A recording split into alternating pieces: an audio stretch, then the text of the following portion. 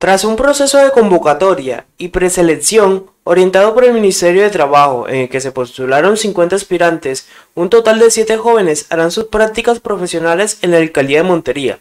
En la mañana de hoy, el alcalde Carlos Ordogoitia Sanín les dio la bienvenida a las y a los universitarios y aseguró, para mí es muy importante y satisfactorio recibirlos, por todo lo que tienen para aportar. La gente buena tiene que trabajar en el sector público, aportar conocimiento y darlo todo.